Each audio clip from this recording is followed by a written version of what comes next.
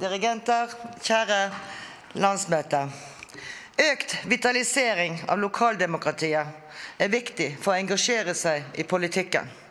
Én stemme til Frp skal være en forskjell for innbyggerne i en kommune. Innbyggere er opptatt av utvikling av sin kommune, sin unike kommune. De har blitt gitt muligheten til å utvikle egen eiendom er viktig for folk flest.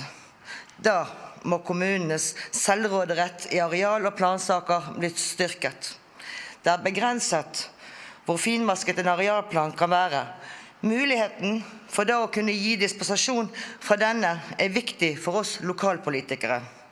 Og det gjøres i dag et formidabelt arbeid ute i kommunene for å utøve godt skjønn i lokale tilpasninger, for så å bli møtt med innsigelse fra Fylkesmannen.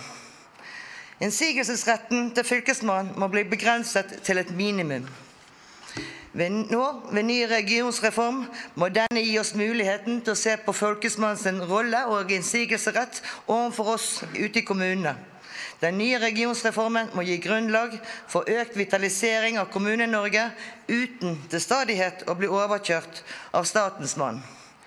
Vi vil ha mer av god Frp-politikk ute i kommunene, med en ja-holdning ut mot innbyggerne i byggesaker.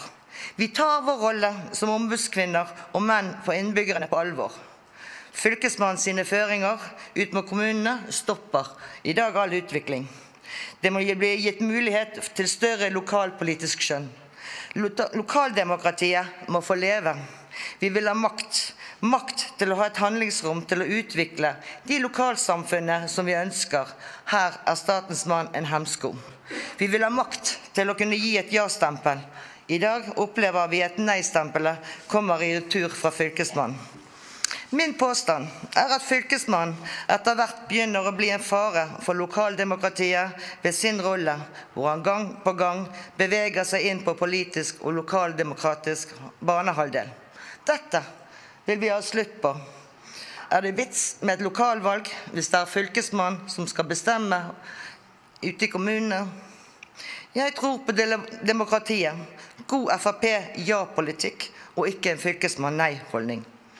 Og så er det viktig i den nye regionsformen at vi ikke gir fylkeskommunene så mye makt at de blir overkommuner, og at vi må slåss med disse også, i tillegg til Fylkesmannen. Reformen må bidra til at vedtakene fattes på det nivået som ligger innbyggerne nærmest, altså ute i Kommune-Norge. Her er det viktig at Frp bidrar til å få dette til. Det vil vitalisere lokalpolitikken og skape nærhet til våre innbyggere. Frp skal være en forskjell. Takk.